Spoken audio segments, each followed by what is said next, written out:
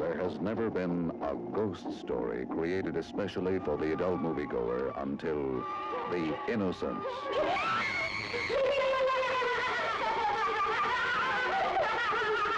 Do they ever return to possess the living? 20th Century Fox, which presented Deborah Kerr in Heaven Knows Mr. Allison, and such outstanding motion picture immortals as Snake Pit, Gentleman's Agreement, and Peyton Place, now gives you The Innocents. Based on the Henry James Chiller of macabre evil, brilliantly adapted for the screen by William Archibald and Truman Capote. They never return to possess the living. You can see. You must.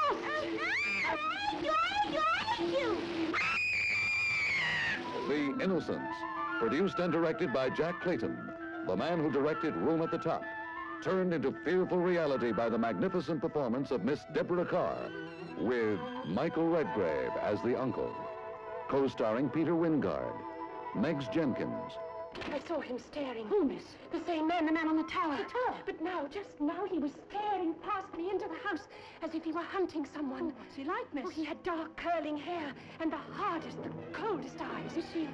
Would you say he was very handsome? Oh, yes, yes, handsome, handsome and obscene. Do they ever return to possess the living? And when did you first see and hear of such things? Why, I made them up.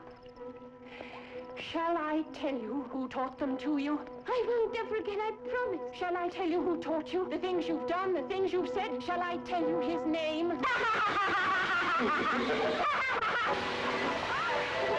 Perhaps the most controversial concept in human relationships ever presented on the screen. With one of the world's great stars, from the man who directed Room at the Top. A new and adult motion picture experience.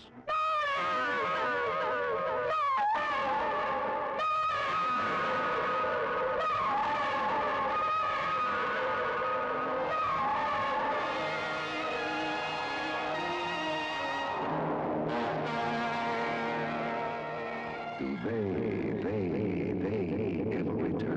possess the living?